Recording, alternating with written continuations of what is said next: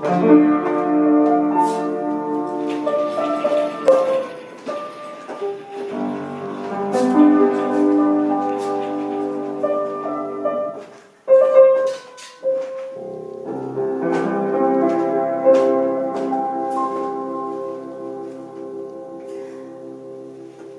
początku byłam ja.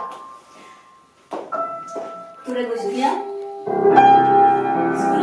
do mnie smutny pianista, zakochany w swoim fortepianie, kompozytor Szpilman. Słuchaj, ja nie mam z czego żyć.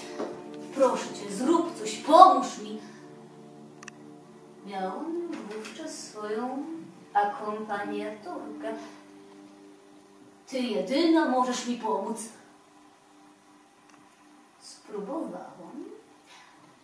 Zwróciłam się do dyrektora. Mówiłam, to nie ma sensu, żebym ja tu była sama jedna. Jest tylu artystów ginących z głodu. Angażuj. Angażujmy tych ludzi. Udało się.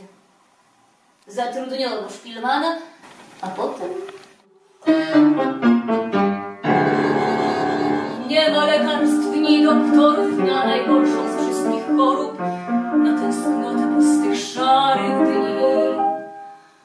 nie chce pić, aż się nie chce żyć, kiedy rozpacz ciernią w sercu twoim tkwi. Nie pomoże nawet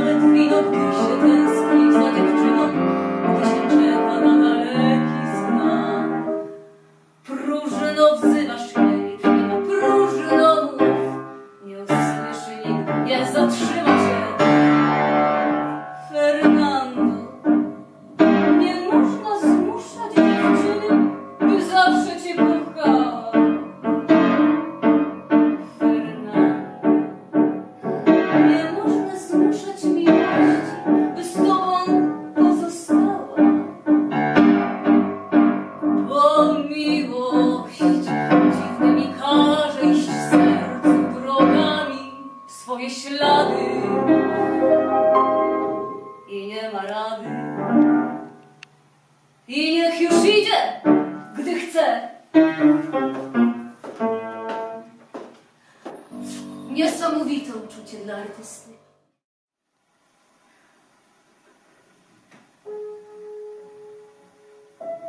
Poprosiłam,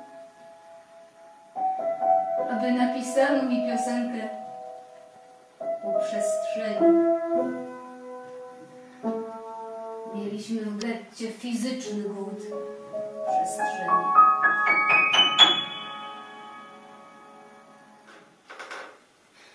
Przyszedł się pożegnać. Miał doskonały plan wyjazdu na wschód. Po paru tygodniach wrócił.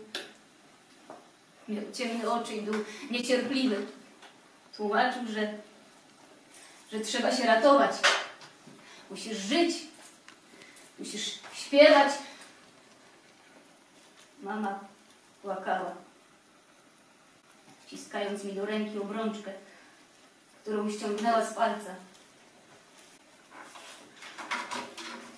Może wiedziała coś, czego ja nie wiedziałam. Tak zawsze było i zawsze będzie. Gdzie jest rozłąka, tam są i łzy. Czy głupi, czy najmądrzejszy, cierpi nie mniejszy ból. I źle i smutno jest ja o tem wiem, lecz trzeba umieć się pogodzić z tym. Gdy ktoś chce inną iść drogą, łzy nie pomogą. Nic nie wstrzyma go. Akt. W przeciwko odejdziesz, nic nie powiem, nie odczuję żalu ani jednym słowie, bo nie zapobiegną już rozłączce słowa. Tkliwej i porządce, kiedy kocha.